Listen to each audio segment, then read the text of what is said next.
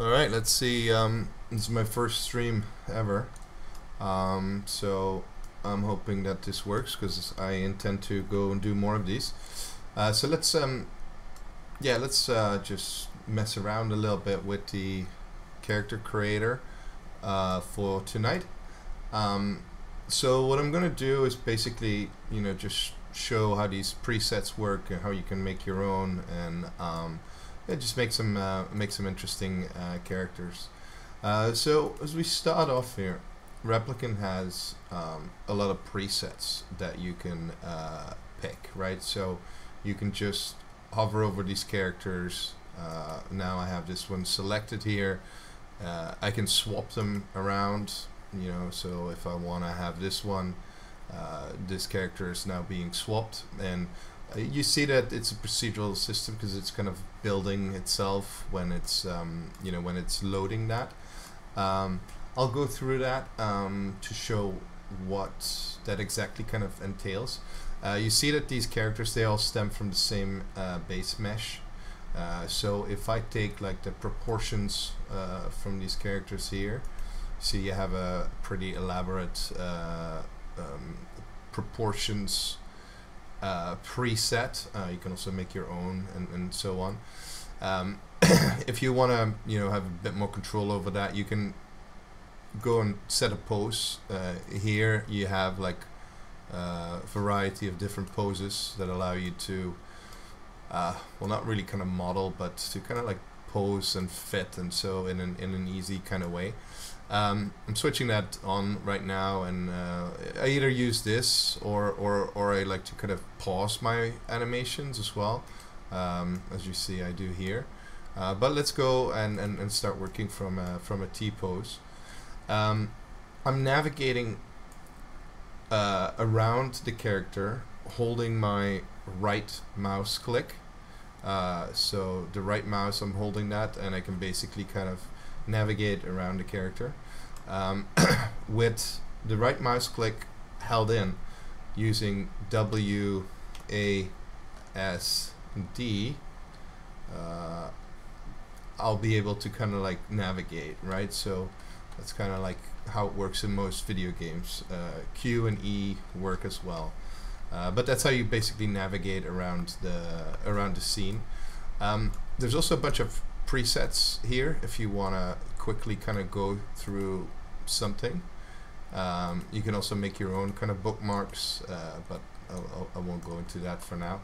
But let's say we want to make a character. Uh, I want to make a character with a. Uh, I can see what I kind of what I like to make. You know, let's say I want to have it's a character with a big head. Um, I can also kind of go and play around with that here. I can change like the arm spacing and height. Um, and all this is basically saved with your character uh, file. So let me make this body a bit bigger on the top. Let's give him like some uh, bigger feet. Let's say we do two, two, uh, and let's say I'm I'm happy with uh, with, with, with with this character. Uh, now I can go in and you know change the eye colors. Uh, you know I have like a uh, again presets here but you can also go and dive into your settings. Uh, so if you're like um, you know an experienced 3D creator um, this will be a good kind of menu for you. Um, if uh, if 3D is all new to you, then you can you can just stick in um, stick with these kind of presets. We're adding more and more of these over time. Um, but what what are we seeing right here is, uh, for example, um, we have a attachment, which are these glasses, as you can see. Now let's say I don't like these glasses. Um, I can remove them. So I can basically select the glasses here and uh, I can press delete and now the glasses are removed. Uh, let's say I want to put some different glasses on him. You know, there's a huge variety of them here. Uh, let's say we want to have some sunglasses. Uh, I will attach these now you see uh, the system does a, a pretty decent job most of the time placing them uh, but you can also you know adjust and so on. And again here for these type of things it's it's uh, it's nice when you're um, it's nice when your uh, character's not moving. You know you can be a bit more kind of precise. So let's say I want it to be a little bit lower on the nose. Uh, no. A little bit lower. Uh, oops and uh, maybe we also want to scale them up a little bit uh, so I can lock that so they scale in all the same kind of direction. But yeah let's say we want to have something like this and then I'm going to uh, just make him a bit wider and I'll make them a bit come to the front. So there you go that fits now right? So um, there's materials for all these glasses uh, you can dive into, but I'm, I'm going to keep it a little bit uh, uh, top uh, uh, top view, uh, so to say. so now, once I've placed this, I can go back. Um, I'll switch my animation override off. So now he's on a on this little kind of loop. You see, you got like a weird little fella here. Um, you see that he's got like a a bit of a belly so actually thinking about that um, I probably want to move that arm space a little bit. I'm not sure if that's fixed yet. Yeah that is fixed. So again let's pause it and then I'll see where these arms are moving through and I can make that oh, I do have to not be paused uh, to do that. So you see that um, I put his his arms out a little bit a little bit more. Um, okay, so then we have like uh, face paint. Let's um, let's give him a little bit of uh, eyeshadow, or what shall we do? Uh, not sure. Some lips. okay, so now he's got his lips painted. Um, the skin you can also change. Um, more and more being added here. So you can have your, your cartoon skins. Uh, so this will make it a bit more kind of cartoony, um, which is which is nice when you're making abstract uh, characters. So there's a lot there's a there's a wide variety of, of, of, of skins. Maybe I just want to have this little green guy here. That's quite fun.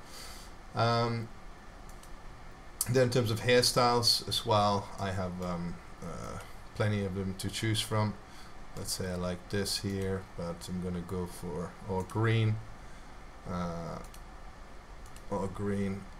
I'll put some physics on uh, so you have your simulation here. So now when he moves around his hair moves as well. Uh, you can see that if I move him which is nice. Um, you can go and do the same thing with the beard and so on. But let's go and take a look at that uh, close and I'll see if I can run into some problems here. Uh, for example, let's so we have multiple layers for clothes. So meaning that I can take um, you can take a, a, an upper layer here. So let's say we have a, a shirt or yeah, and I can put another one on top of that, right? So now you see our guy has two different layers. Uh, you can pick like different presets for that. Again uh, you can also tweak them customize them and, and, and, and so on. Say I want to have this uh, white shirt I want to make that green. Uh, I'm gonna go for all green kind of guy. Okay.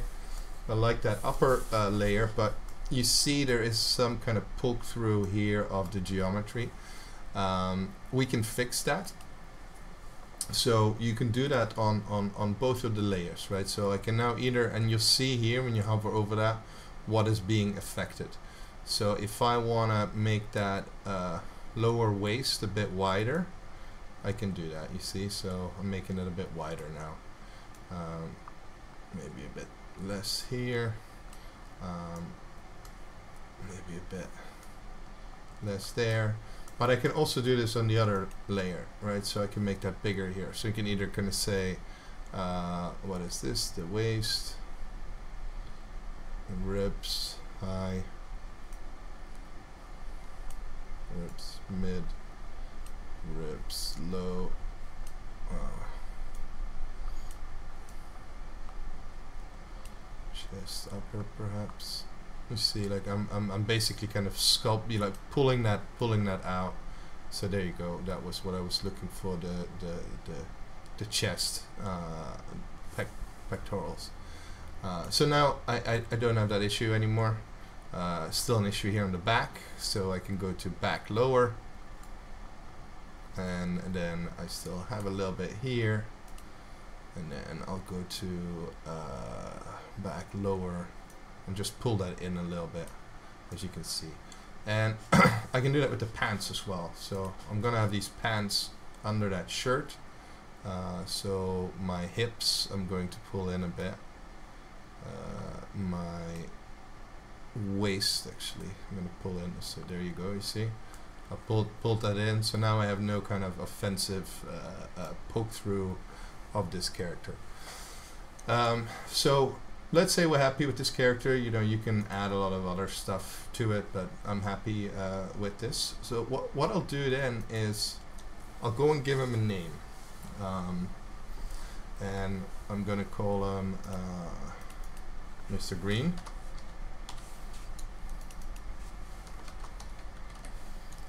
and uh, his display name is Mr.